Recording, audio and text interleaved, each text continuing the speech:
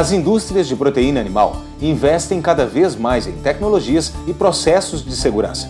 Com isso, o número de acidentes caiu, mas dá para ficar ainda melhor. Para isso, você deve seguir os procedimentos de segurança.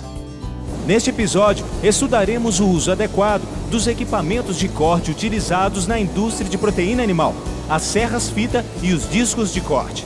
Esses equipamentos têm lâminas poderosas e as diretrizes existem justamente para proteger você. Então, observe essas regras com muita atenção.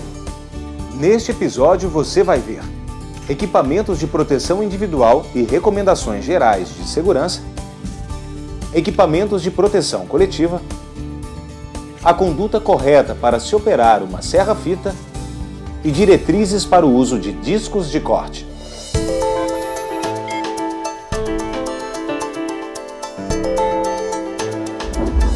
Serrar e cortar carcaças, peças de carne e matéria-prima congelada são atividades de praxe nas indústrias de proteína animal, seja com bovinos, suínos, aves ou pescados. Existem vários modelos de máquinas de corte, serras fita e disco de corte, por exemplo. Elas foram desenvolvidas para facilitar seu trabalho e devem ser operadas com toda a responsabilidade. É necessário seguir os procedimentos de segurança indicados pela empresa. Os equipamentos de proteção individual podem variar em função da análise de risco e o tipo de corte a ser feito. Portanto, você deve se informar com o seu supervisor e utilizar os EPIs exigidos. As normas de segurança também incluem as pausas periódicas.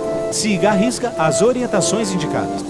Outro ponto-chave importante para a sua segurança é respeitar os limites estabelecidos pelos EPCs, que vamos analisar mais a fundo daqui a pouquinho. Os movimentos são repetitivos, portanto, muita atenção durante todo o trabalho. Nunca encoste-as nas lâminas do equipamento e movimente-se conforme o limite indicado pelas sinalizações de segurança, que não devem ser removidas ou danificadas. O trabalho com ferramentas de corte tem que ser levado muito a sério. Por isso, mesmo que você tenha anos de experiência, não brinque, não converse e não se distraia durante o serviço. Pode acreditar, isso é essencial para a sua segurança e a de seus colegas, pois a atividade demanda alto nível de concentração.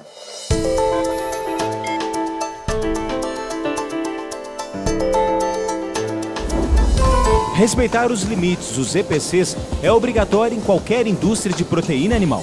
E tratando-se de máquinas potentes, como serras fita e discos de corte, é imprescindível ficar atento. Todo trabalhador precisa conhecer os dispositivos e as sinalizações de segurança. E isso pode variar a cada máquina, ou seja, sempre que você trocar de equipamento, deve analisar a avaliação específica de riscos e o procedimento operacional. Agora, mesmo que você opere sempre o mesmo equipamento, é indispensável inspecionar os dispositivos de segurança e emergência antes da operação, todos os dias, como sensores, proteções, aterramento, paradas de emergência e outras exigências das normas de segurança. Se você notar qualquer problema, nem pense em improvisar, avise seu supervisor. Por fim, você não deve se aproximar demais das serras fita e discos de corte. Os EPCs existem para mostrar os limites dos seus movimentos, cuidando da sua segurança. Em momento algum, os EPCs podem ser retirados. Entendido?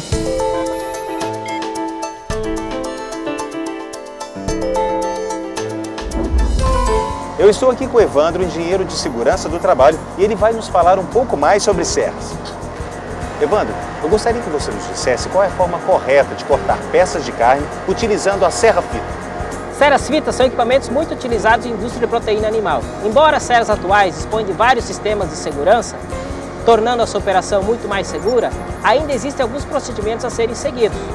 Ainda que as peças a serem cortadas possam variar de tamanho e alinhamento, é importante que o operador nunca invada a área de corte do equipamento. Estas e outras informações são dadas a ele no treinamento para a operação do equipamento. Caminhando pelo setor de espostejamento e evisceração, eu percebi em determinadas situações que alguns cortes são realizados em cima de plataformas. Quais são as orientações de segurança? São as mesmas, porém, sempre que for feita alguma atividade sobre plataformas elevadas, é importante que essa plataforma esteja devidamente fixada e caso ela não disponha de guarda-corpo em todas as suas laterais, Então o trabalhador deve usar um cinto de segurança preso a um ponto fixo exclusivo para isso identificado junto à plataforma. O trabalhador ele recebe orientações ergonômicas para realizar essa atividade, na é verdade? Orientações básicas de ergonomia, como por exemplo manter uma postura ereta, os ombros relaxados, o cotovelo mais próximo possível ao tronco, são informações básicas que são repassadas a ele juntamente com o treinamento para a atividade. E para finalizar, o que o trabalhador deve fazer em caso de algum equipamento como este apresentar algum defeito? Ele deve paralisar imediatamente o equipamento, informar a, a situação ao seu supervisor para que a manutenção seja feita adequadamente.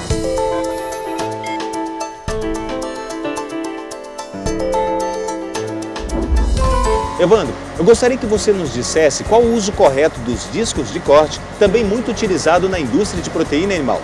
Assim como todo equipamento, os limites dos EPCs, os discos de corte, devem ser respeitados.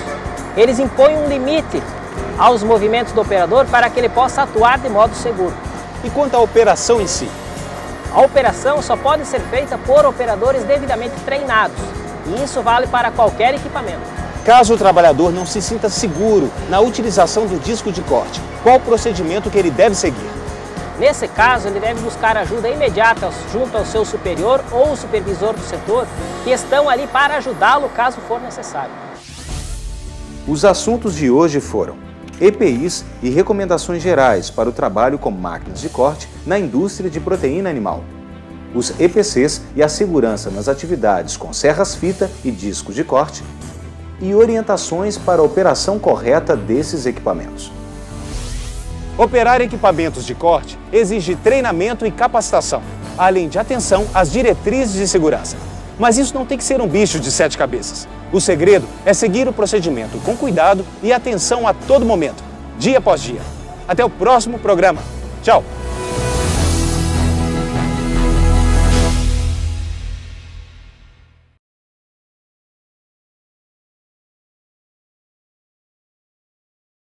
Música